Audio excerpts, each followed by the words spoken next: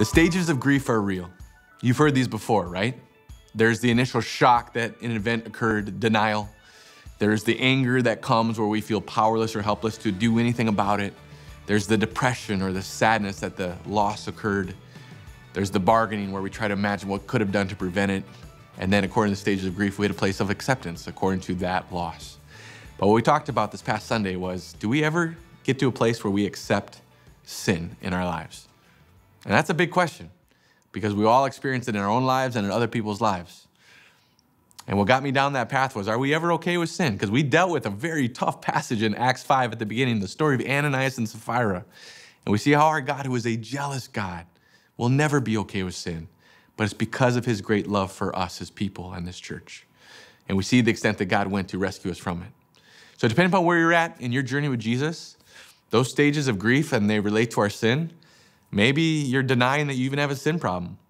And my friend, if that's you, I encourage you to, to really look into your own heart and your life on that. The Bible says there's no one righteous, not even one. Perhaps you're like me, where you have accepted it and you get comfortable with just your sin, and you start to realize and you miss the truth of God's great love for you.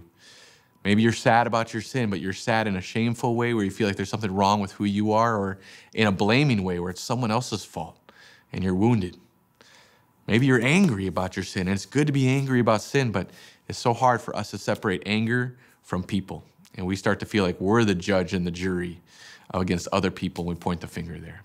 But my friends, as you realize who God is, step into His light, His jealous love for you, and allow your emotions to be shared with Him about your sin.